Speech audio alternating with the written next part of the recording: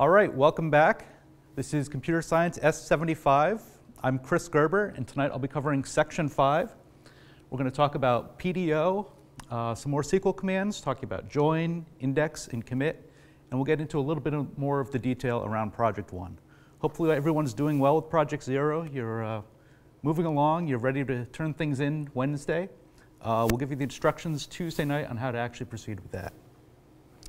Well, let's get started. To, uh, to kick things off, I'd actually like to do a little refresher about how we have been working.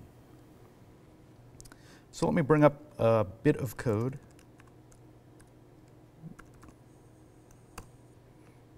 All right, so what we're going to look at first is just a little bit of how we have been working with databases in PHP. So you'll see this is the model that I'm working on as, as I begin to work on my implementation of Project One. I've got a, a, few definitions up front just to make things easy and so I have a single plate where I can configure things. I've defined my host, my user, my password, and my database all with the define command. So I've basically set up, it's not quite available, uh, a variable, it's actually a constant. So I can use these later in my code. So if down the road I actually change the account name or the password, I'm just changing it in one spot. So let's move a little further down the code.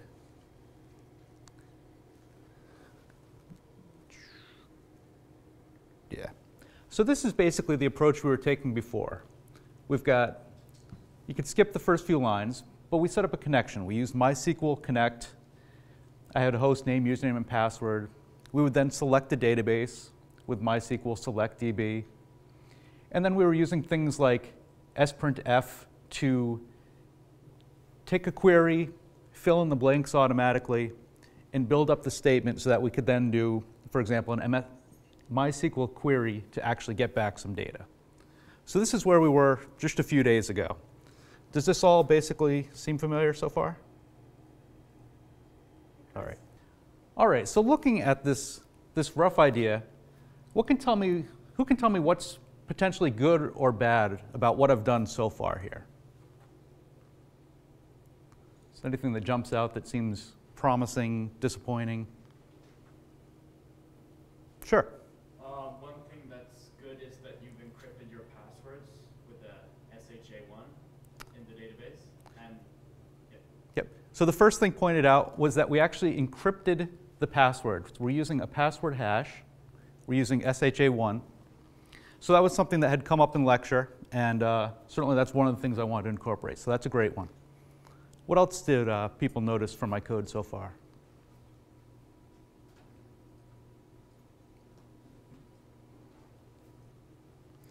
All right, so one thing I might throw out there.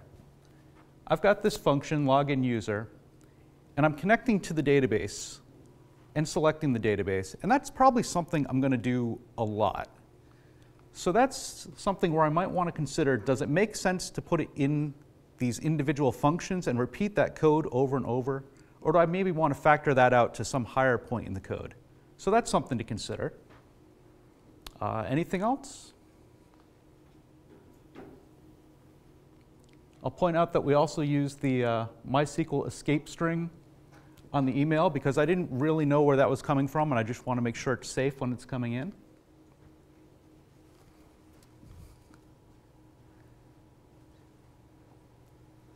All right, and then one of the other things is something that David just started talking about tonight. When we start looking at this code, I've got all these MySQL specific commands. So what's the problem with these MySQL specific commands?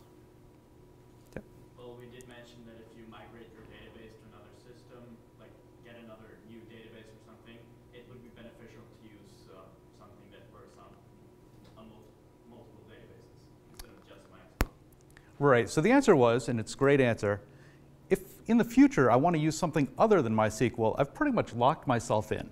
So that's why we're going to start talking about PDO tonight. The other thing I'd like you to keep in mind as we look at this is that sprintf command, where I've basically built this query once.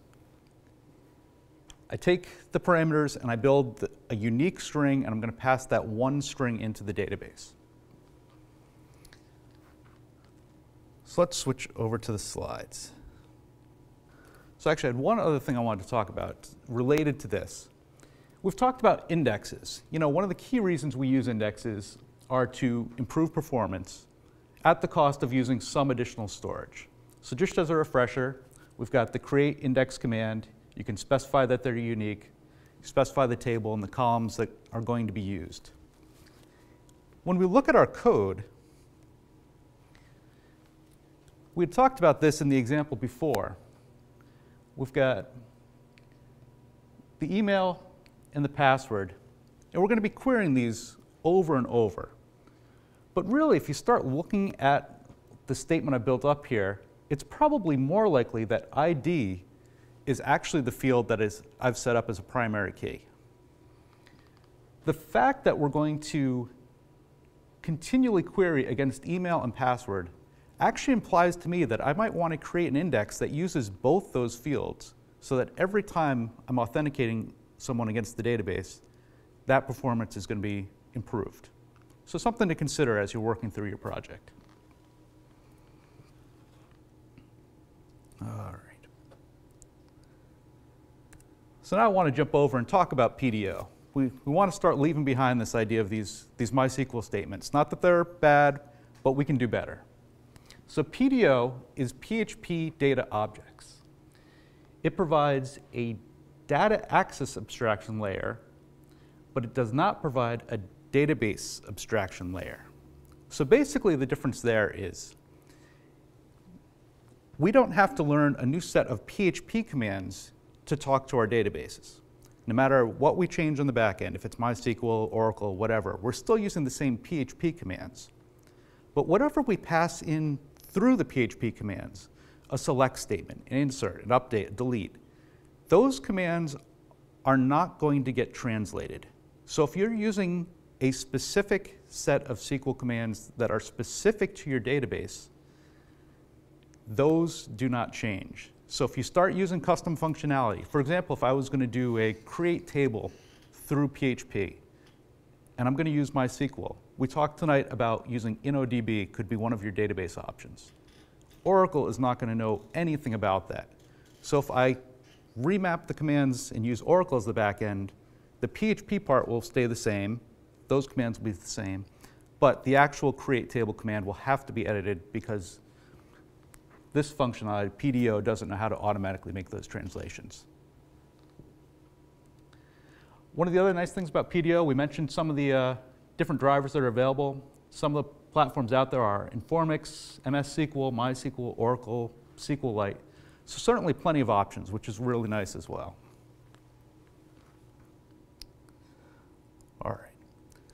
So let's actually see what some of this starts to look like.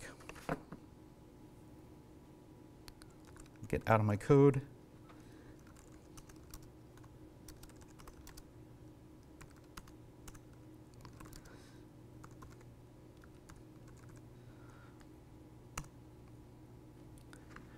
So I created a very simple example, basic idea of a select statement using PDO.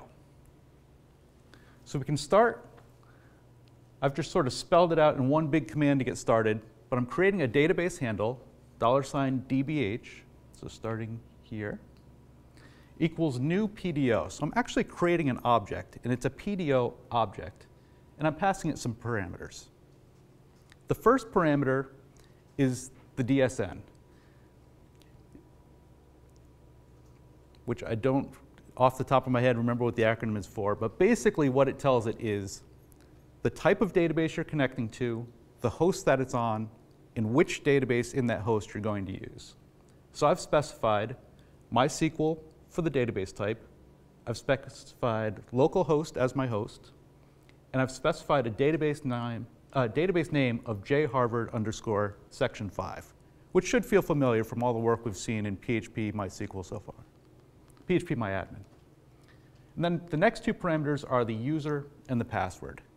And we've certainly seen J Harvard as the user and Crimson as the password plenty of times this semester. The next thing I'm going to do is just a simple query. I take the database handle and I tell it I'm going to do a query. And I've got a very simple query statement here. Select star from students. We all know what that does, straightforward. I'm going to take the results and put it into a variable called dollar sign students. As you might guess, this is going to be an array. So I can, as we go to the bottom of the screen here, use a for each to iterate across that, taking each element out of students and calling it a student. And then I can print the various fields. So one thing you'll see here is I suddenly have ID first and last available. And what's happening is PDO is actually looking at the column names in the table and making those the keys for my associative array so that I can pull the values out. So student is the row, ID is the column. It's mapped that into an associative array element and will automatically pull out the value. And then we're done, when we're done, just for good measure, I've set the uh, database handle to null, which essentially closes the connection. So we can actually see what this does.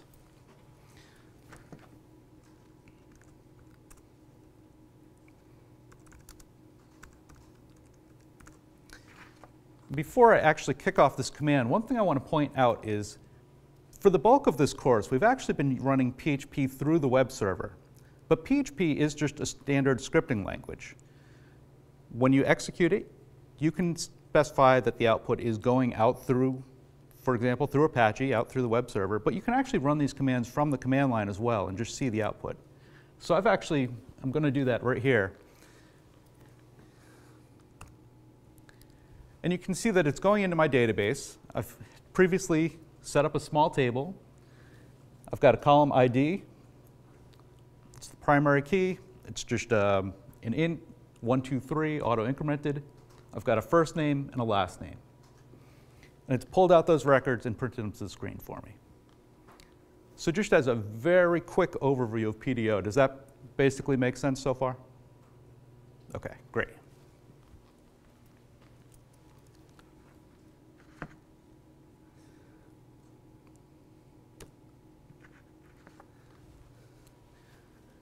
So as we start looking into PDO, you'll see a few standard things. We've got the DSN, which we mentioned, in the DBH database handle that we mentioned. There are basically five statements that are sort of my wheelhouse when I'm using PDO. Query executes the statement and returns a result set. That's what we just saw. Exec executes the statement, but instead of returning the results, it just tells you the number of rows that were impacted. So if you were doing an update operation and you expected three rows to be updated, you could determine if that actually happened, if, for example, zero were updated. You could start to get a sense as to was the command successful based on what you expected the count to be. Prepare, bind value, and execute get a little more interesting. So what pre prepare does is it lets us pre-prepare a statement for execute, execution on the database. So that actually gives us several advantages. First of all, it's letting the database know up front, we're going to do this work, and let it do a bulk of the work up front to get ready. It knows what tables it's going to need. It knows basically the approach that it's going to take to query the data. And then we can specify parameters. And we can use those parameters to then tweak the query. So we might be selecting with a parameter of ID equals fill in the blank and then I can say, run this query with a 1, run this query with a 2, run this query with a 3. And the database doesn't have to go through the full process of building the instruction each time. It just has to rerun the same query with the new value. To do that, we're going to use the bind value command, which takes one of the parameters and inserts the value that we want to use into it. And then once we've prepared it and bound it, we actually use execute as opposed to exec, execute spelled out, to actually run the statement.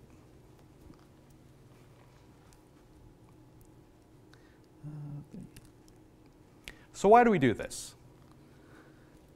Basically, there are two really good reasons. Performance, first off.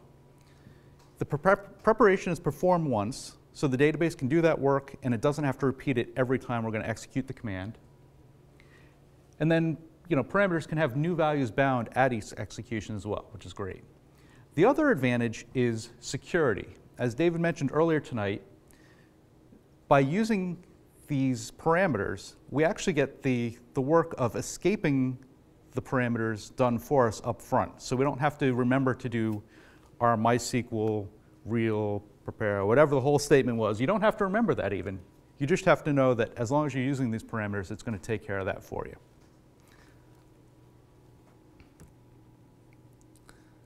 And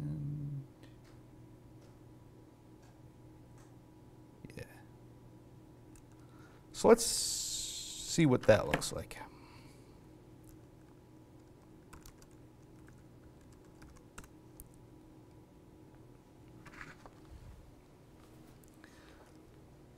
So I had shown you my table of students with myself and David and Elaine. I've also got a table of grades that I had pre-created. And what I want to do is fill in a number of values. So I've created this array that has the data that I want to load into the database. The first value is the ID number of the student. The second value is the project number they were working on. And the third value is the grade that they got on the project. And I just want to bulk load this data into the database. You can see I've set up my connection to the database the, as the last line here. But let's see how we might actually go through this process using parameters.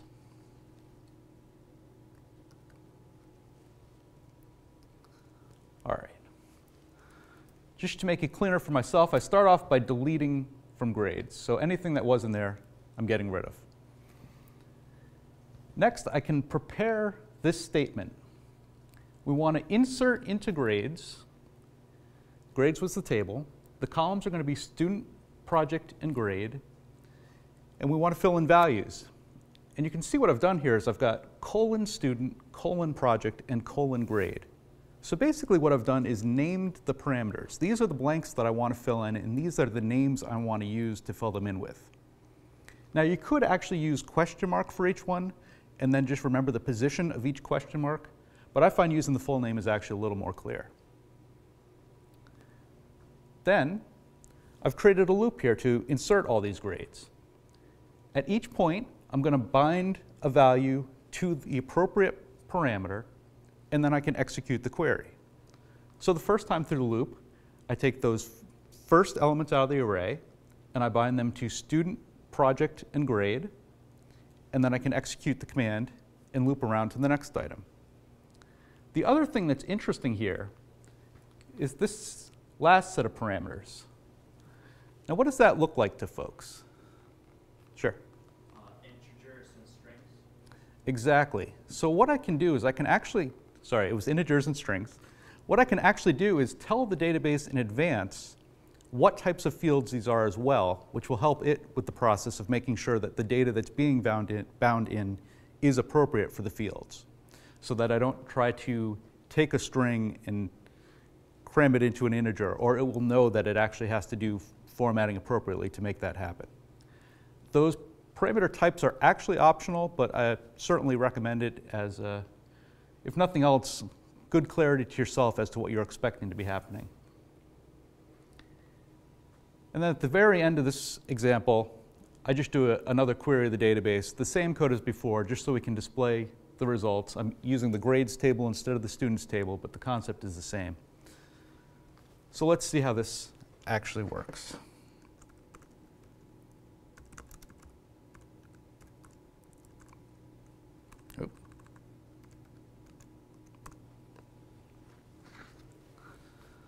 So you see it's, it's gone through, and it's entered the data from that array directly into the table, queried it back out. Relatively straightforward. So you can select a series of columns from a table name. There's a number of options here, and I'll come back to that. Join to a second table name based on some conditions. So we've got left, right, outer, inner. What, what does all this mean? Basically, we have inner joins, or we have left or right outer joins.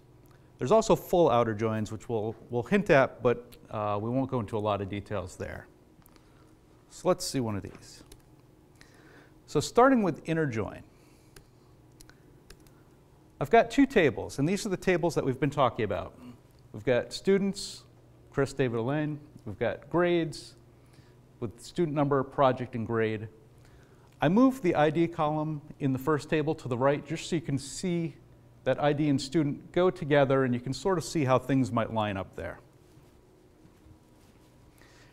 With an inner join, what we're going to see is a result like this. It's basically going to look for every place on the left where the, it can find an ID number that has a matching number on the right and display those records. So for an ID of one, it goes over, it sees student is in the first and second rows, and it brings that combination of data together. One, one, one, one. It goes on to number two, it finds the third and fourth row in the second table and brings those rows together. For Elaine, he's ID 3. There are no grades, so it doesn't bring anything back there. Likewise, in the grades column, there's a student 4 who we haven't defined anywhere, and it doesn't bring that back either. The inner being, it's all the places where only there's a direct match.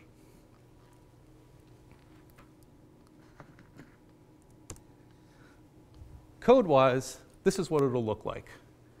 In the, in the table that I actually brought back was select star from students, join grades on students.id equals grades.student. And we talked about that earlier where when you're using database columns, but you have multiple tables to work with,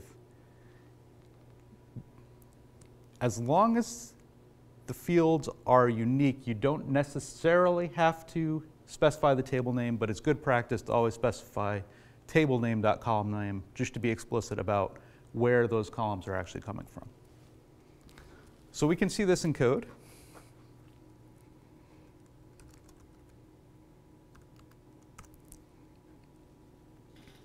I'll skip the part of the code that's repetitive. And you can see I've plugged in exactly the, the SQL statement that we just saw at the very top, select star from students, join grades, on students.id equals grades.student. And we can just go ahead and run this. This is relatively straightforward here.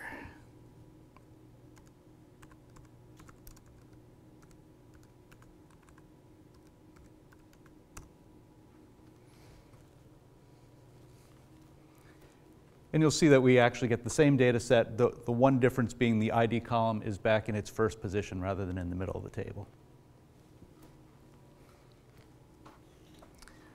So, what about this case where we, the inner join isn't giving us all the data we need? Now we can start looking at left and right outer joins.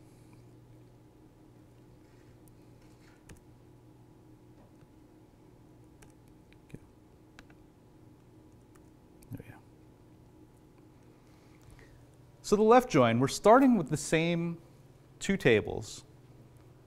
I've left them physically in the same space. So students is the left table, grades is the right table.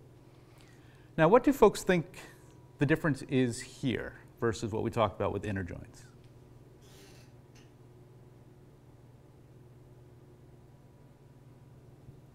Okay, so the difference is what we're saying when we specify a left join is that every re record in the left table, whether it has a corresponding record in the right table, needs to be displayed.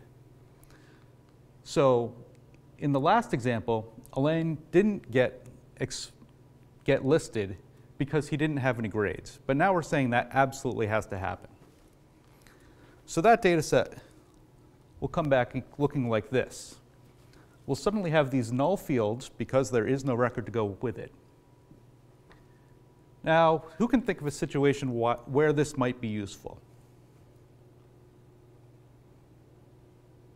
Sure? In this very case right here, where some person comes in and doesn't have all the information but needs to be displayed to see all the students. Exactly. So, as was just said, in the case where we still need to see all the students, so if I have a class list and I need to see who hasn't been turning in their homework, I need to know who all my students are, whether or not they've actually earned any grades. So let's go ahead and jump over to the SQL statement. Nearly the same as the last example. The one subtle difference is the addition of the word left right before the word join to explicitly say that, yes, we're doing this left outer join. As a side note, you could actually include the word outer, but it's optional, and I didn't feel like the extra typing.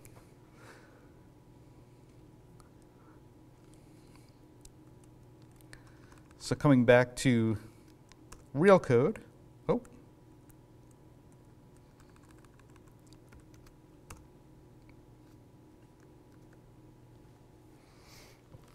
The same idea, we've just added the left to the SQL statement. And uh, as I prematurely ran it, you'll see that the actual output is just as we had predicted it would be. I think I'm actually going to, for time's sake, skip PDO5. As you might guess, PDO5 is the right join, which is essentially the same as the left join, except you're saying that the right table is the dominant table. And no matter what, you want to include the records from that table, regardless of whether there's data that corresponds in the left table. So I can actually run that just to demonstrate the output that we would expect there. Where we get this mystery student four, we see their grades come through, but we don't actually see any name information because they're not in our students table.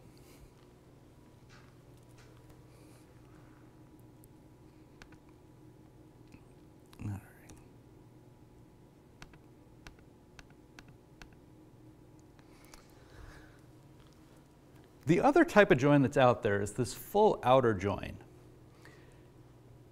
And basically, the idea is we're saying that both tables are equally important, and we need every record from both tables no matter what.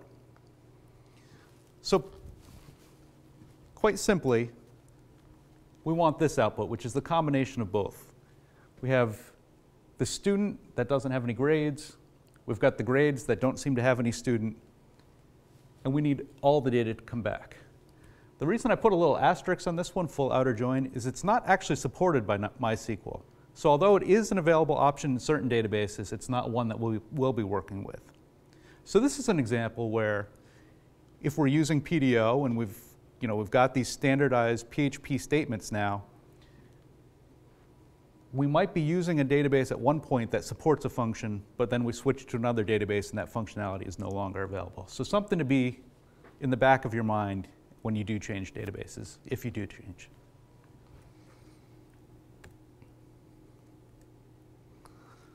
All right. The next new SQL feature that I want to talk about is commit.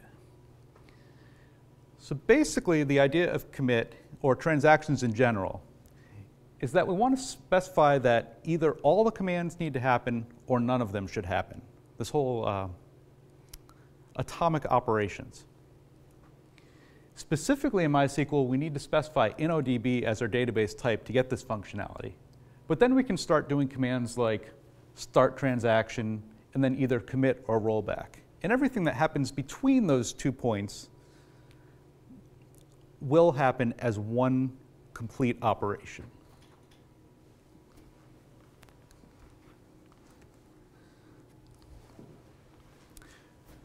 So this is very rough code. This is not tested. This is just to give you an idea of what something might look like.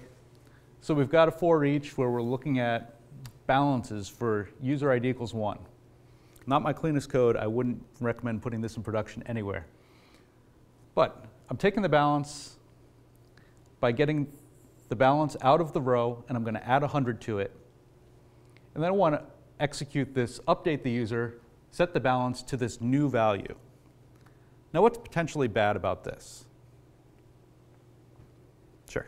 Same user goes and runs this twice to try and get their balance up 200. Right. So the, the problem is the case where the user tries to run this twice in parallel. And then, you know, what's the right value? If I'm supposed to add 100 in both cases, which update gets put in when? Do they only get $100? Do they end up with their full $200? We don't really know because it's there's an opportunity between each statement for execution to pause and move on to another process. So what we wind up doing is using these commands. So because this is so well known, this idea of transactions, PDO actually supports it natively.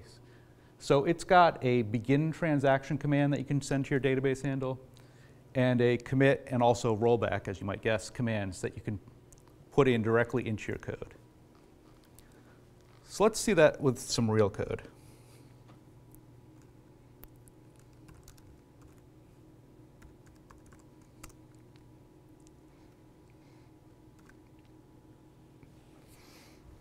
All right, so one thing I, just as a quick note, is I've packaged up this little function at the top here,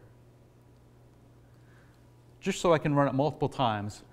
What it's going to do is show me the results or the, the current state of my grades table so that we can see how things are going along as we make changes. So I'll start off at the beginning. Before the update, I'll just print the grades. So we have a, a baseline. Then I can begin a transaction, and I can update the grades, and I can say, for student one, me, I'm going to bump up my grades to A minus. You know, I only had B and B plus before, but you know, I got the curve, so I'm excited now. I got my A minuses, and I'm going to commit those changes to the database. Then, using my powers as a teaching fellow, I'm going to say that you know, I don't think David necessarily did as well as he thought he did. And I'm going to bring Dave Malan's grades down to an A minus from the A's that he had previously. But I'm going to wrap that in a transaction as well. So as soon as I update the values, I'm going to query the database and see what things look like. But then I'm going to have regrets, and I'm going to actually roll back that transaction and then look at the database again. So we've got three points. Before I do anything, after I've manipulated my grades but committed them, and then updated David's grades but not yet determined whether to commit or roll back in the very end of the application. So let's see what happens there.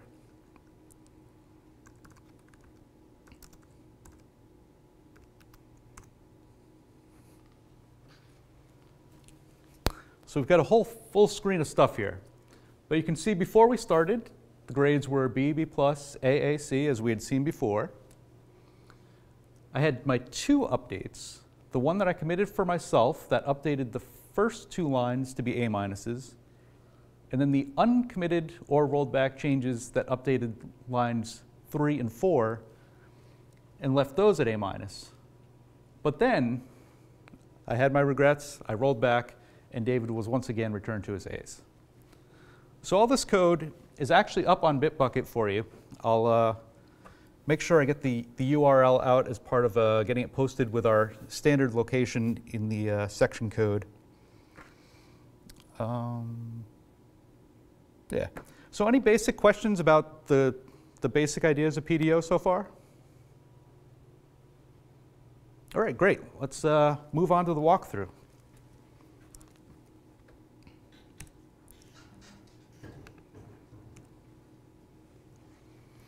So our new project is CS75 Finance. I'm going to talk a little bit about the architecture, a little bit what you might th think about for database design, show you a little bit about how we actually do these Yahoo stock quotes, and then talk about other considerations that you might want to think about as you work on your project. Just as a, yeah. Just as a quick overview of the Yahoo stock, stock quotes, you can actually go out to Yahoo with these URLs, going to quotes.csv, and do queries. So in this case, I'm searching for Google and Yahoo quotes with this little magical SNL1. And I've broken that out. There's actually, if you go to this gummystuff.org site, they've got a, must be about 30 different parameters that you can pass in here. S specifically says, show me the symbol. N says specifically, show me the name and L1 says, show me the last trade for the stock. So this query would actually bring back a CSV file that has that information for both Google and Yahoo. But let's, with that background, get on to the live demo. All right.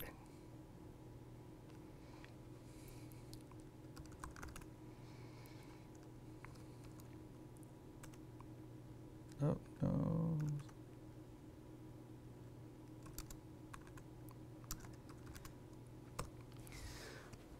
So let's start at the beginning. I'm, I'm sticking with this whole MVC concept and sort of expanding on what David had done.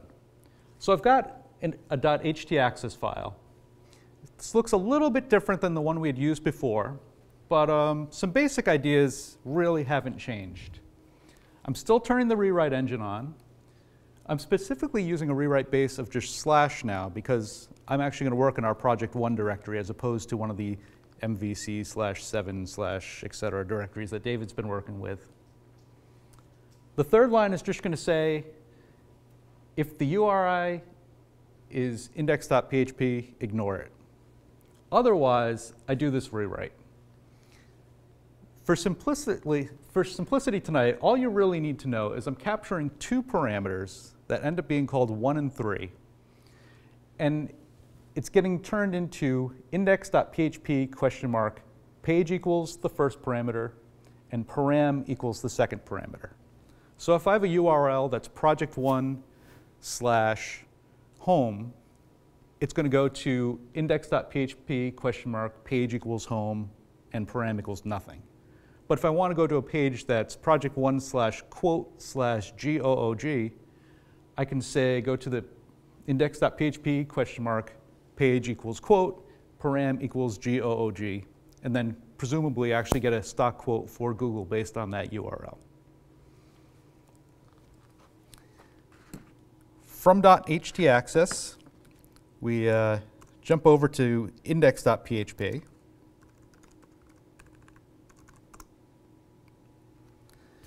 which is just taking these parameters and deciding what controller to load. So if the page is set, it's going to use that as the name of my controller. And it's actually going to load that file ultimately through this require statement. If it's not set, it's going to default to home as the page. So no matter what, people end up at my home page unless they know where they're going. I'll leave, leave it to, as an exercise to uh, sort through the rest of that, but it's basically just the dispatcher for MVC at this point.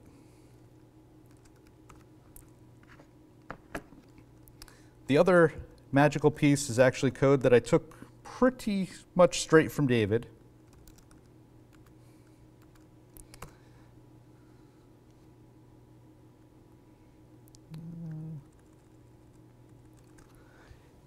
And that's this render function that he had, which basically is for rendering my views. So a controller can say render with this template and this data.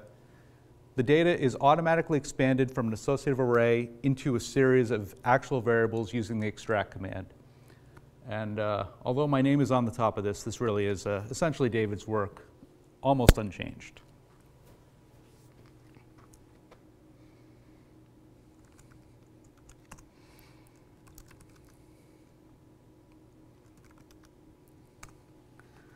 So given all of that, I've come to this MVC model again. This is my controller for home. This is the base page that I go to.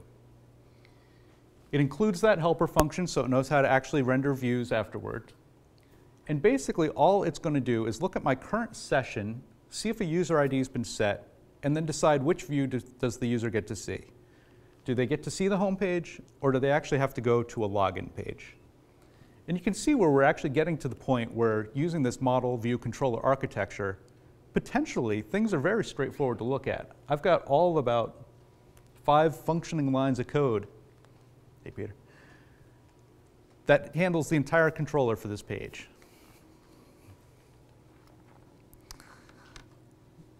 All right, and let's see what some of those view components look like so we can put the pieces together.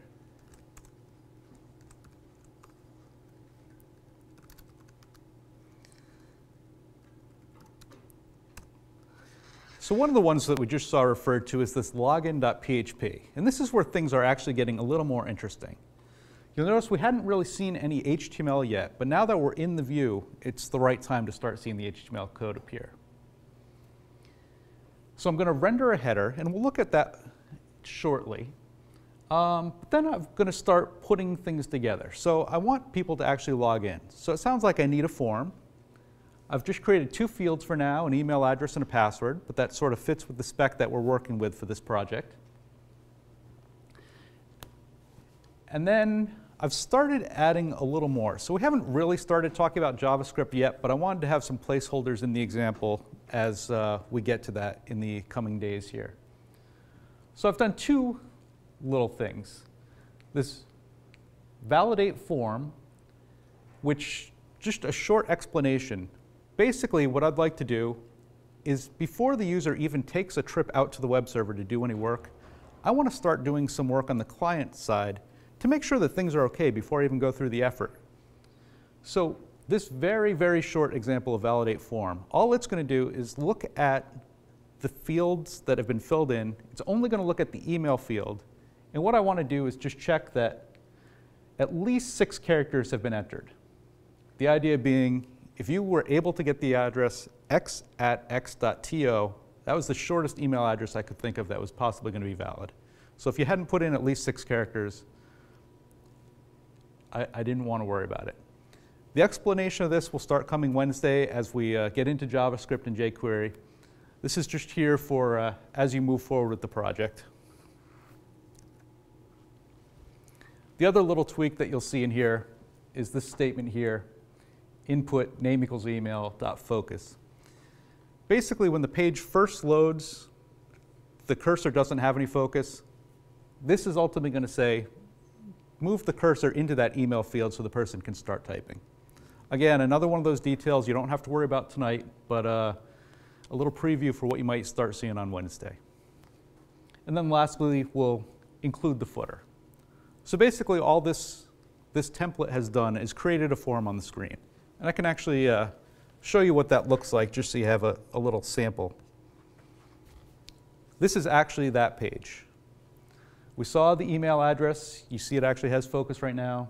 We saw the password. We saw the login button as part of the form. There's also this little link home page at the top, which we hadn't seen yet. That's actually going to come out of the standard header.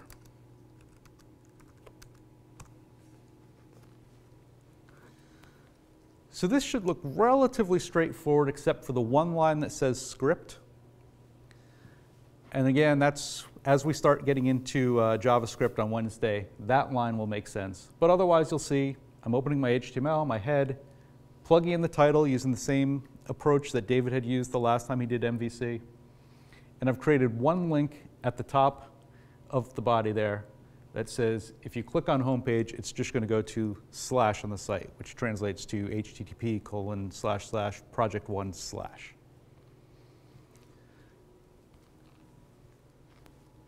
All this code is also up on my Bitbucket account, so when that link is published on the home page for the class, you'll also have access to all of this to review as well. And the footer is uh, even less convoluted. All I'm doing is closing my basic tags.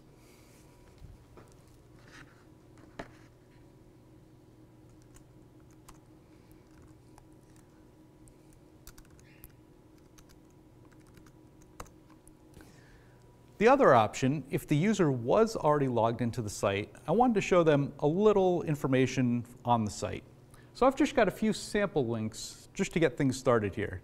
You might think about how you might build out this project later to include more details here. I've specifically hard-coded that you can request a quote for Google. Obviously, for your project, you'd want some more flexibility than just one stock symbol. Um, I've provided a link so I can actually view my portfolio, and I've uh, provided the opportunity to log out. You'll want to start thinking about things like how will they buy a stock? How will they sell a stock? Do you need separate pages for those? If someone's at a quote page already, is that the time to buy or do you want a separate purchase page? If they're already looking at their portfolio, is that the time to sell stocks or should there be a separate page for selling? Some design considerations you can start thinking about there.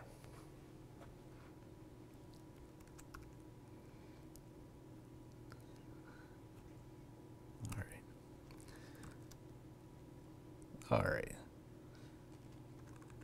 So let's start looking at something real. Let's, let's get a quick view of what the start of the portfolio might look like.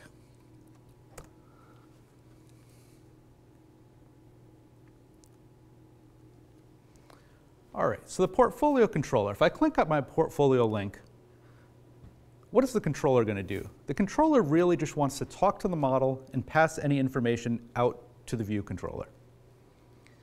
So basically, this ends up being relatively straightforward. If the user's logged in, session user ID is set, then I'm going to get the user ID from the session. So you can think about how we've in the past used the session and stored a variable in there. Somewhere I must be storing this value. Then I'm going to get the user's holdings. And this is just one call out to the model in this approach. Your holdings is just get user shares for your user ID, and then we use render to throw it out to the view. So the controller ends up just being the glue in this case. All it knows is I want to talk to the model to get the data, and as soon as I have it, I don't want to think anything about HTML. I just want to get it off to the view to deal with. So this ends up being the entire controller, relatively straightforward. One thing I'll point out here, you know, we've already seen one other place in my code where I check if the session user ID is set perhaps I'm not doing the right thing here. Do I really want to check that on every single page? Is that a helper function that should be caught at a higher level? Things like that that you can consider. I don't know that I want to have to remember to, in every file, cut and paste the same is set session user ID, and if not, render login. All right, so to get to the real meat of all this, we finally make it down to the model again. This is the same model that we had looked at just shortly ago when we were looking at an example of how we used to do things, these MySQL statements. I've left this in there. This is basically one of the approaches that we've used in class for authenticating a user against your database, where you take the idea of selecting by email and password. If you get a row, the user's had the right password and has a valid account, and you can use that to log them in. But at the moment, we're talking about portfolio. So let's actually go forward a little further and, and, get a sense of what something like this might start to look like. So the portfolio, a user has some collection of stocks, they have some cash balance, I'm going down to a very basic example here, and I'm only going to look at what stocks they have. So you'll want to think about how do you expand this as you start develop, developing the project to include everything that truly belongs in a user's portfolio. So we've, we've got our new PDO syntax. We're connecting to the host, selecting the database, logging in with username and password, all basically in those first two lines of code. Then we're going to prepare a statement because the user ID is coming from somewhere else, I like the idea of the prepared statement here. It's going to protect me. It's going to do that wrapper of making sure that anything that needs to be escaped is escaped. So I'm going to bind that value in, and then I can execute the query. Once the query executes, I'm going to get back a result set. For each of the rows that I get, I'm going to do Instead of doing the for each approach like last time, I actually took a different approach. I'm using this statement and a fetch to get each row that was returned. And as I get them, I'm just going to push those results into an array so I can return it. So what is this going to look like? We're selecting symbols and shares. So we're basically going to end up with an array set that is for each row in the array, I'm going to have the symbol and a value, the shares and a value in an associative array. So an array of associative arrays. And I'm just going to return that to the users. If the statement didn't execute, my database handle just goes to null, and uh, you'll see I return no data. So does this basic idea of how I might go out to the database using PDO, select a few rows, and return an array back to the controller vaguely make sense? Are there any questions about it? All right, no questions yet.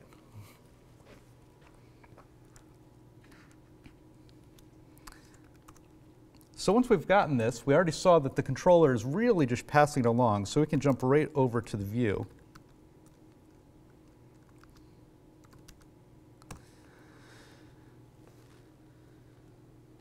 So what are we doing with all this data that we've got? I've decided that I'm actually going to make a small table.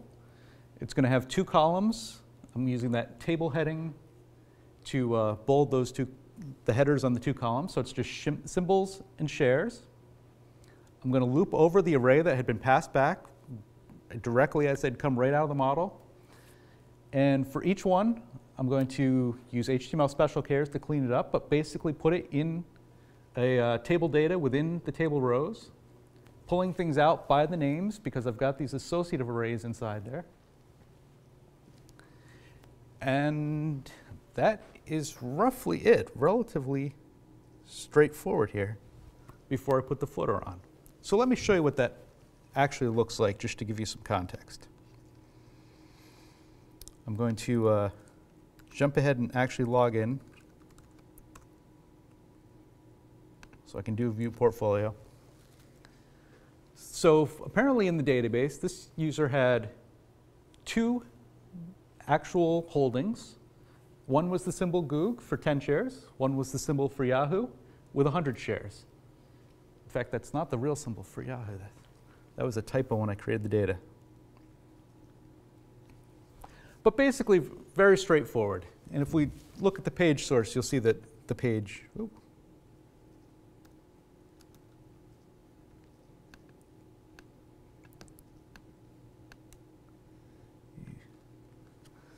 I really haven't gotten too complex with my code here.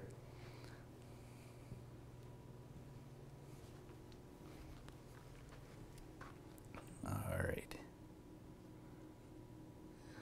So the one other thing I wanted to show you was what David just started alluding to at the end of class as well, and that is the quotes. So we can look at the controller for quotes. This is again very short code because all the work is really being done by the model and view. Basically, I'm going to say if a param was passed in, I'm going to call this get quote data with the parameter URL encoded. Oh, I didn't realize I'd done that there. And then whatever comes back, I'm passing directly out to the view for rendering. So let's see what's really going on in the model here.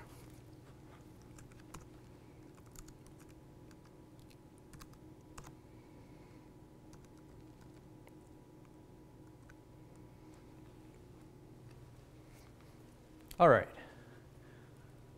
So this code probably looks very familiar. It's very similar to what David just showed a few minutes ago. I'm uh, being passed in a symbol I'm creating a result array just to store things in, nothing in there yet. And I've got this URL to actually connect to Yahoo. The one special piece of data that I've plugged in is the symbol that was actually passed in. Get the pointer. So I've got the symbol here. I've also specified this, which we saw in the slides earlier, that S, L1, and N. S being the symbol, L1 being the last trade value, and N being the name. What I want to do then is I can actually open this URL as if it was a file directly with the fopen command. Once I've got a handle to that file, CSV is one of the things that PHP actually knows how to work with. So I can, one row at a time, use fget CSV to pull the CSV data directly into uh, rows that I can work with. If the row, row value 1 in this case, is set, then I know I've got data. I found a last traded value. So what I'm going to do is I'm actually going to create an associative array with the symbol set to the first parameter, which we saw was the symbol. The last trade set to the second parameter, which we saw that L1 is the last trade. And the name set to the third parameter, which was that N from the from the URL that we used. I've set this up specifically so it just pulls down a single symbol at a time, although the APIs do allow us to pull down multiples. And that's something that you'll want to consider as well. In this case, I really was only concerned about returning one result. But when you're working later, say for example, you're going to be generating the value of someone's portfolio. Does it make sense for each stock symbol to take another trip out to the Yahoo server to get that quote, that symbol's price? Or do you want to bunch them up and get a number of symbols back in one shot? So you might get five or 10 current stock prices from Yahoo in a single transaction rather than doing multiple transactions. So things to consider there. Once I've got the data, I close my handle and I return. And that data can then be passed off to the view.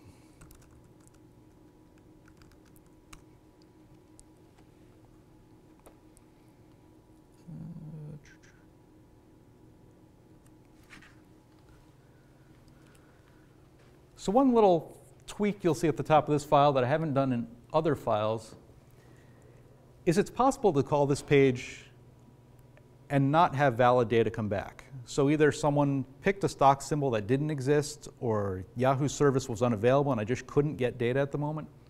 It's possible that things will go wrong. So I've got some notification to the user if no data has come into the view that either the symbol wasn't provided or the quote data wasn't found. But assuming that I do actually get my data back, I've done a, a short table again, scrolling off the bottom of the screen here.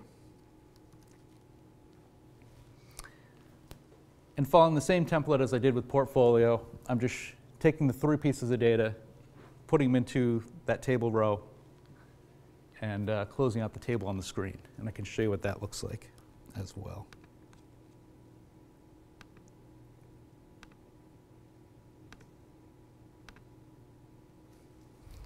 So very straightforward little table, just the symbol name and last trade, and the data is pulled directly from the model, passed through the controller, and displayed on the view here.